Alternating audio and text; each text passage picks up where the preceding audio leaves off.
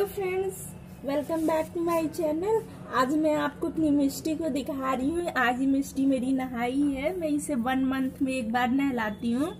और फिर इसको सजने का बहुत पसंद है। इतना अच्छा लगता है, मैं उसको सजाती हूँ।